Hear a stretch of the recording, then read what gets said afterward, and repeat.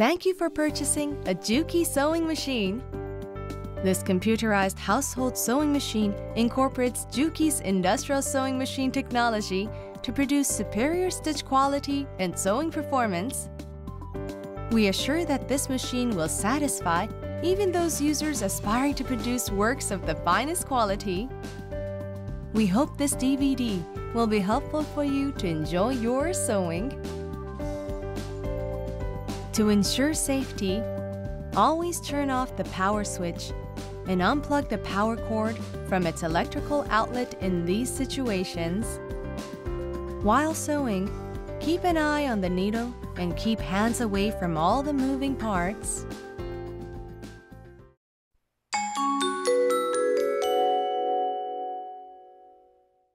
To use the foot controller, insert the plug of the cord securely into the controller plug socket located in the right side of the sewing machine. The machine receptacle for the power cord is located in the right side of the sewing machine next to the controller plug socket. Turn on the power switch. Set the power switch to I. The sewing machine can be stopped and started by using the foot controller. The machine begins operating when the foot controller is pressed and stops when the controller is released. The color of the Start-Stop button indicates the status of the machine. Green indicates that the machine is ready to sew or currently sewing. Red indicates that the machine is not ready to start. While pressing the reverse switch button, machine sews reverse or lock stitch, and the machine will stop when the button is released. After sewing, press thread trimming button to trim both the needle and the bobbin threads, and the needle stops at upper position. Thread trimming function is also built in this foot controller. You can trim threads by stepping on the heel side of the foot controller. The needle position will change by pressing the needle up-down button while the machine is stopped. When the needle is in up position, the needle moves down, and when the needle is in down position, the needle moves up. While sewing, the speed can be adjusted by sliding the speed controller. Slide the speed controller to the right to sew faster and to the left to sew slower. When you turn on the machine, the LCD screen indicates number 1, straight stitch of the center needle position. Use the pattern selection buttons below the screen to select a pattern the screen shows the number of the stitch pattern and the marking of the presser foot to be used. Choose a pattern selection mode by pressing one of the pattern selection mode by switching buttons. With Direct Select, you can select among 10 of the most commonly used patterns, while Select by Number allows you to select other patterns by number. One-point patterns, letters, allows you to choose a combination of patterns. When you choose your desired stitch pattern, the machine automatically displays the standard stitch width and stitch length. To adjust these settings manually, use the zigzag width and stitch length adjusting dials located below the screen. When you stop the sewing operation, the needle generally stops in down position. However, you can change this position by pressing the needle stop position switching button.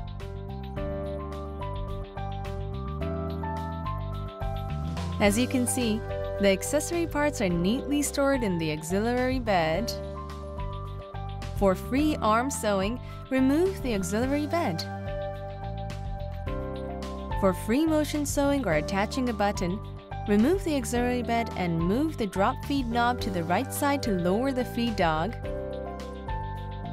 A wide table can also be attached to the sewing machine. Pull the feet out from the bottom of the table until they snap securely into place. Fit the table over the top of the free arm of the sewing machine. Adjust the height of the feet so that the top surface of the table is flush with the body of the sewing machine. Turn the power switch off before replacing the presser foot. Raise the presser foot. Press the presser foot releasing button to remove the presser foot. To attach the new presser foot, align the pin on the presser foot and the groove on the presser foot holder. Carefully lower the presser foot holder with the presser foot lifting lever. Use the knee lifting lever to raise and lower the presser foot without using your hands. To attach the knee lifting lever, align the tabs on its base end with the notches in the knee lifting lever hole located on the lower right of the machine and then insert. Push the knee lifting lever to the right to raise the presser foot and back to the left to lower the presser foot. In case the thread tension is not correctly set, adjust the tension by using the thread tension adjustment dial which is located under the cover on the top of the machine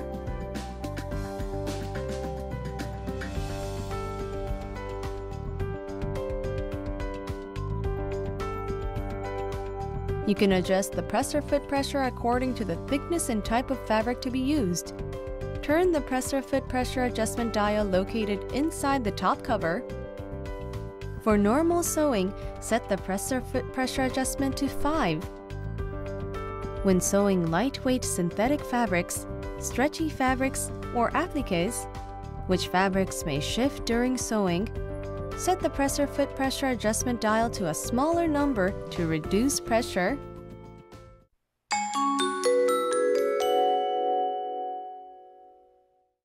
Always turn the power switch off before replacing the needle. Use a regular household sewing machine needle. Turn the hand wheel towards you until the needle comes to the highest position and lower the presser foot. Loosen the needle set screw with T-shaped screwdriver supplied as a standard accessory part. Then, remove the needle. Hold the needle with its flat part facing away from you and insert it fully until it touches the stopper pin. Then, securely tighten the needle set screw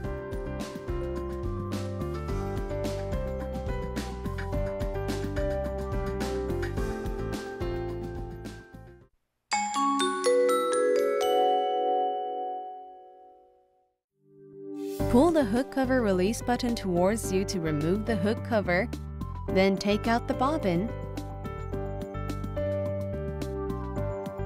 Place the thread spool to the spool pin and attach the spool cap. The spool cap can be reversed to match the size of the thread spool. Pull some thread from the spool and thread it to the thread guides marked 1 and 2 then thread it to the thread guide number 3. Thread the thread firmly into the thread guide. Set the bobbin on the bobbin winding shaft. Wind the thread to bobbin 4-5 times in clockwise direction. Put the thread end into the guide at the bobbin winding shaft and pull it to the right side to cut it.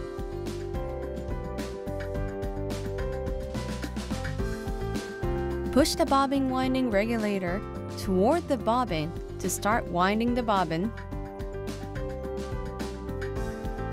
To stop winding the bobbin halfway, push the bobbin winding regulator to the right. The machine will stop automatically after the winding and the bobbin winding regulator will move back to its original position. Remove the bobbin from the shaft and cut the thread by cutter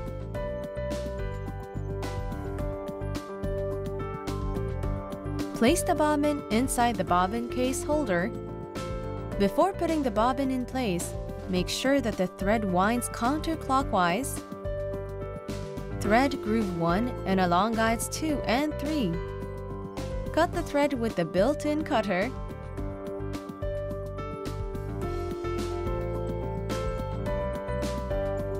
Finally, close the hook cover.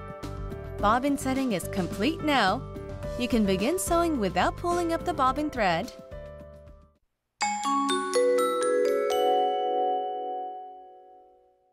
Always turn the power switch off before threading the needle.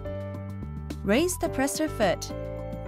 Raise the needle to its highest position by aligning the marking at the hand wheel with the one on the machine body. hold the end of the thread and pass it through guides 1 through 5, following the arrows.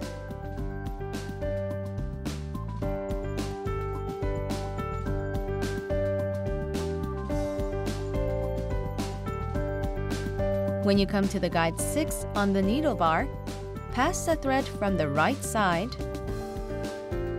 You can now thread the needle. Lower the presser foot and pull the thread up to 7. Cut the thread at 8 and lower the threading lever 9 until it comes to a complete stop. Release the threading lever to thread the needle, then pull the end of the thread backward.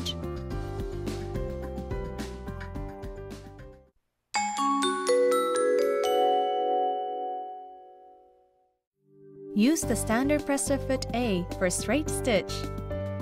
Turn the hand wheel towards you to lower the needle to a starting position.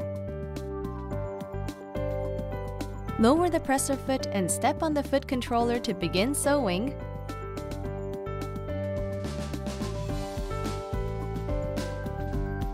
When you finish sewing, step on the heel side of foot controller to trim the threads. Raise the presser foot and remove the fabric. Once the thread is automatically trimmed, you can start sewing again without pulling up the bobbin thread. To begin sewing the edge of thick fabrics, first lower the needle to a starting position. Press the black button located on the left side of the standard presser foot. Then, lower the presser foot. Once the presser foot is lowered, remove your finger from the button and begin sewing. To change the sewing direction, stop the machine just before the point where you want to change direction. Use the needle up-down button to continue sewing slowly until you reach the exact point where you want to change direction. When you get to the point you want, lift the presser foot with the needle left in the fabric, Change your sewing direction, then lower the presser foot again and start the machine. When you want to sew reverse stitches, press the reverse stitch button at the desired point. The machine will only sew a reverse stitch while the reverse stitch button is being pressed.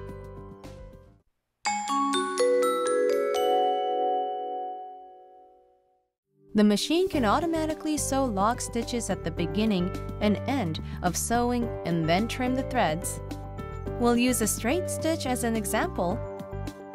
Press the automatic lock stitch and thread trimming button. The automatic lock stitch and thread trimming icon will appear on the screen. Press the button again and it will disable the automatic lock stitch feature once you have selected automatic lock stitch and thread trimming function, position your fabric at the point where you want to sew. Then start. The machine will sew a few reverse stitches before starting to sew.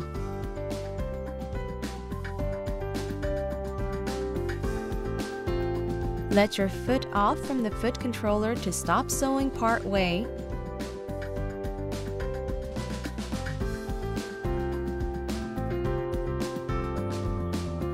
When you are finished sewing completely, press the reverse stitch button. The machine will sew a few reverse stitches, trim the thread, and then stop automatically. You can change the needle position of straight stitch by using the zigzag width adjusting dial located below the LCD screen. Turn the dial to the left to move the needle to the left and to the right to move it to the right. You can also change the length of the stitch by using the stitch length adjusting dial under the screen. Turn the dial to the left for a shorter stitch and to the right for a longer stitch.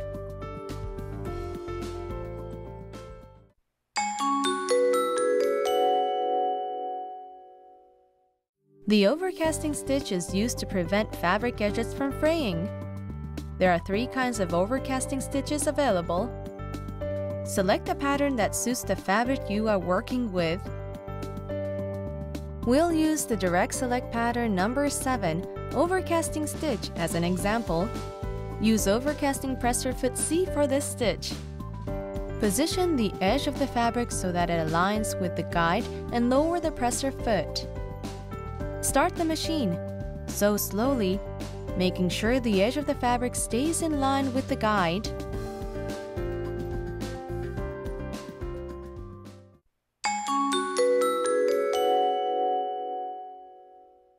The machine comes with 16 patterns that can be used for buttonhole. Select your desired buttonhole. Use buttonhole presser foot E for this stitch. Pull out the button holder on the presser foot.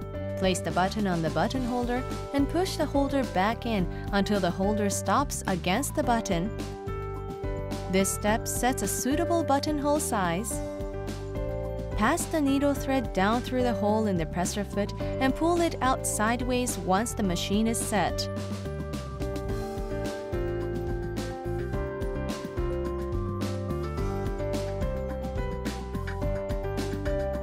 Insert the buttonhole sensor pin into sensor pinhole at the left side of the machine body. Make sure that the sensor pin is pushed in as far as possible We'll use the standard buttonhole pattern as an example. Place the fabric under the presser foot and lower the needle to the sewing start point. Lower the presser foot and begin sewing.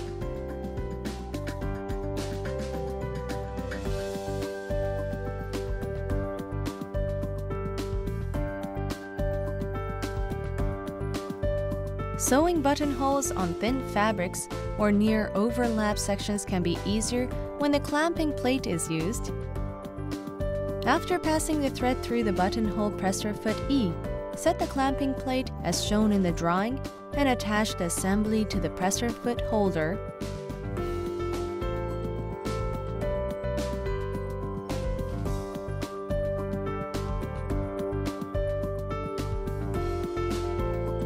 Sewing is performed as usual by inserting the fabric between the presser foot and clamping plate.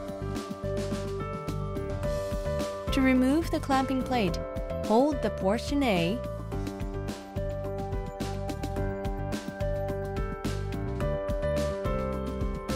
When the buttonhole stitch is finished, the machine will sew lock stitch and stop automatically. Once the machine stops, push thread trimming button to trim the threads. Use the ripper tool to open the buttonhole Using the stopper pin as shown will prevent you from cutting the stitches. The buttonhole is complete now. The buttonhole width can be adjusted and you can choose one out of three settings. To adjust the width, select the option Changing the seam width of buttonhole.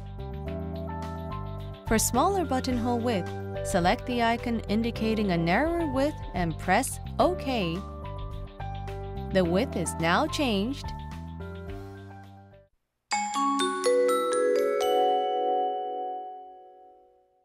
There is a wide variety of decorative stitch patterns available on your sewing machine.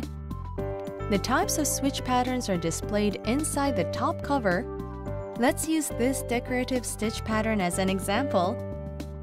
Press the Select by Number button Choose the decorative pattern icon and press OK. Now, input 02 to select the desired pattern. Use the presser foot marked I for this stitch. Place the fabric under the presser foot. Lower the presser foot and begin sewing. We'll use a scallop stitch as an example. Press the One Point Patterns Letters button choose the one point icon and choose OK.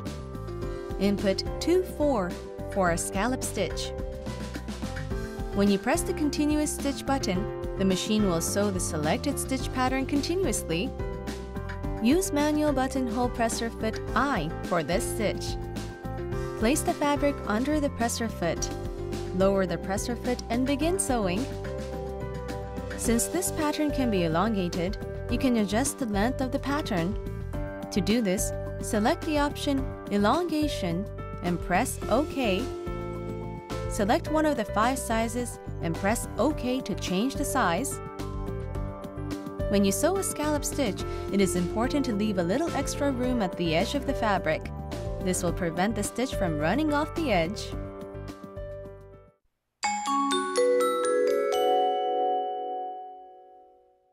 Your machine can sew both letters and numbers. Use manual buttonhole presser foot I for this stitch. Let's sew the letters J-U-K-I. First, press the one-point patterns letters button and select font of alphabets. Input methods is similar to writing a text message on a cell phone. Press this button once for J, and this button twice for U,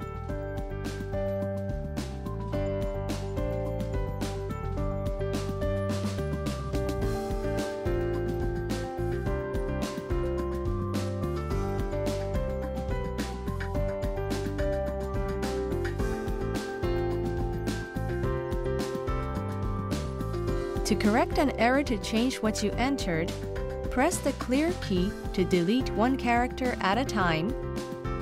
Re-enter the characters you want to sew instead.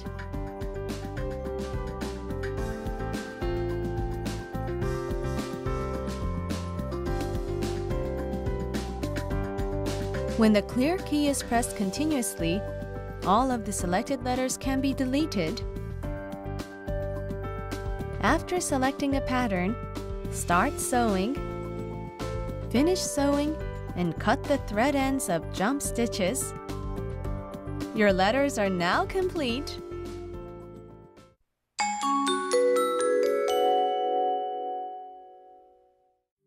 When sewing letters and other stitch patterns, you should always perform a sewing test on the same type of fabric first because the pattern could deform depending on the type and thickness of the fabric and fusible interlining being used.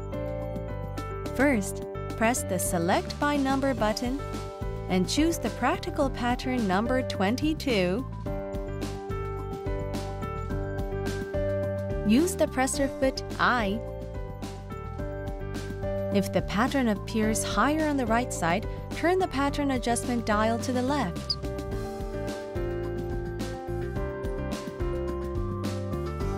If the pattern appears lower on the right side, turn the pattern adjustment dial to the right.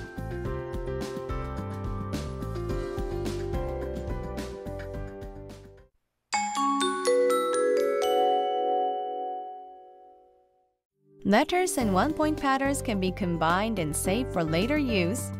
A maximum of 10 combinations including manual adjustments of stitch patterns can be saved. First, select the desired stitch patterns, then press the Save Call button. Use the arrow keys to select the destination folder and press OK to save the patterns. Next, select Save and press OK. To call save patterns, press the Save Call button, highlight the desired folder using the arrow buttons, and press OK.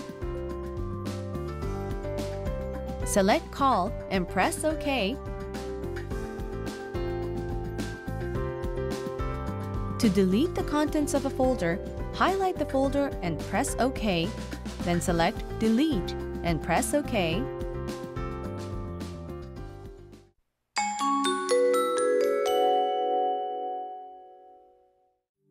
Your machine can sew a wide variety of patchwork quilt patterns.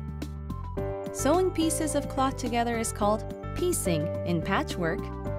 The seam allowance for piecing is generally quarter inch. First, cut the fabric to sizes that account for a seam allowance of quarter inch. Select direct pattern number 2. Use the presser foot A. Place two pieces of fabric right size together and align the right edges of the fabric with the right edge of the presser foot. In this position, the needle will enter the fabric at quarter inch from the right edge, enabling you to sew with a seam allowance of quarter inch.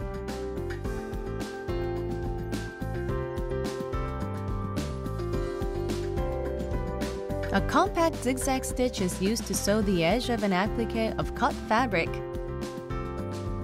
Select direct pattern number 5. Use the presser foot I or O.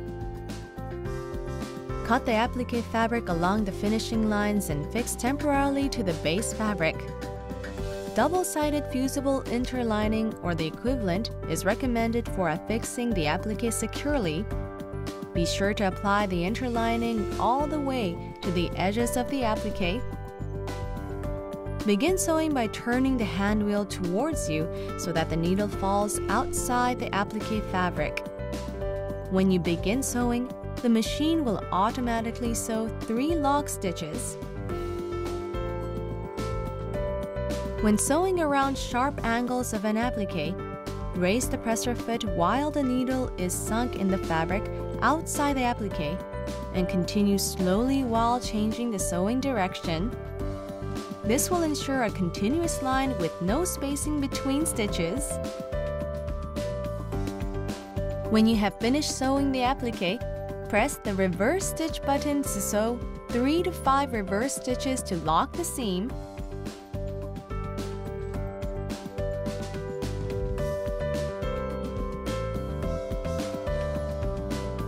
An applique can be sewn with inconspicuous stitching. Cut the applique fabric with a seam allowance of 3 to 5 millimeters. Place the pattern paper on the wrong side of the fabric and fold back the seam allowance at the finishing lines. Place the applique fabric onto the base fabric and fix temporarily with basting stitches or glue. Select direct pattern number 6. Use the presser foot I or O. Turn the hand wheel towards you so that the needle initially falls outside the applique fabric. When you begin sewing, the machine will automatically sew three lock stitches.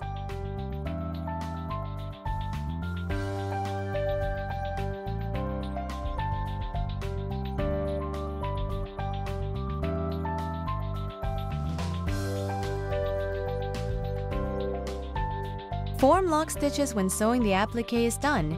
Press the reverse stitch button to sew a few lock stitches. Sewing lock stitches outside the applique fabric looks better and neat.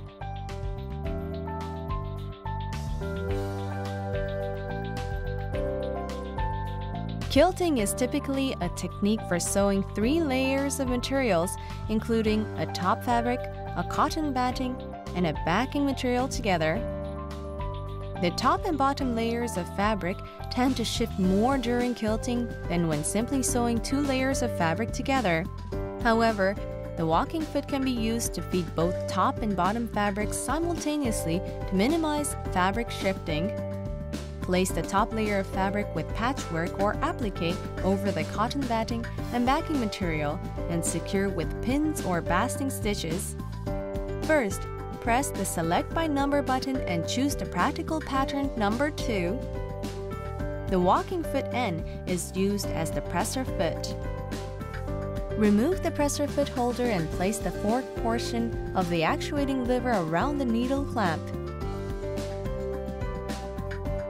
Fit the mounting part into the presser bar and securely tighten the set screw for the presser foot holder.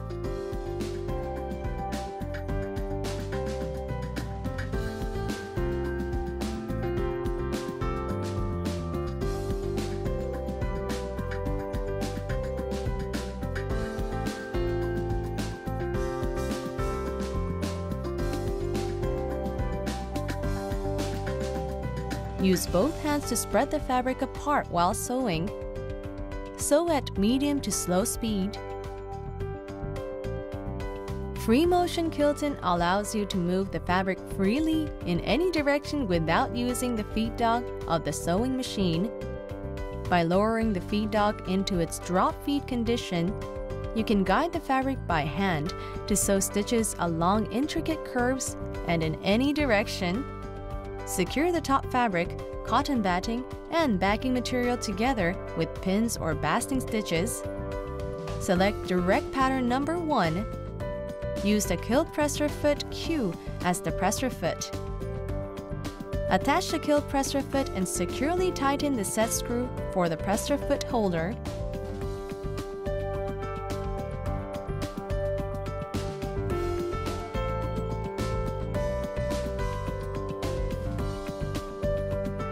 Slide the drop feed knob to the right to lower the feed dog. Place the fabric under the presser foot. To form neat stitches on the wrong side of the fabric, move needle up and down one time to pull up the bobbin thread onto the top of fabric and lower the presser foot. Then, sew 2-3 lock stitches while holding both the needle and bobbin threads together. Use both hands to guide the fabric while taking up slack in the fabric. Aim for a stitch length of about 1.5 to 2.0 millimeters.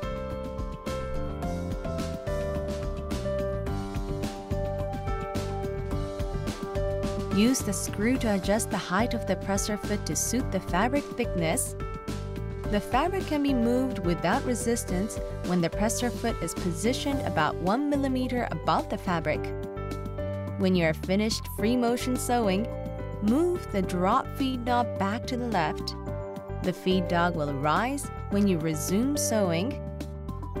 By using the foot controller, you can free up both hands to guide the fabric more easily Quilting patterns numbers 18 to 34 are random stitch patterns. These playful patterns vary the width of each stitch automatically. Select quilting pattern number 27